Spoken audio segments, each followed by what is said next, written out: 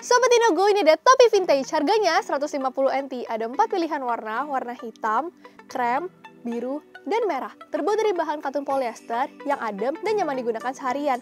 Untuk detailnya, ukurannya bisa disesuaikan, jahitannya rapi, bisa digunakan pria dan wanita. Yuk buruan pesan di aplikasi shopping Indogo.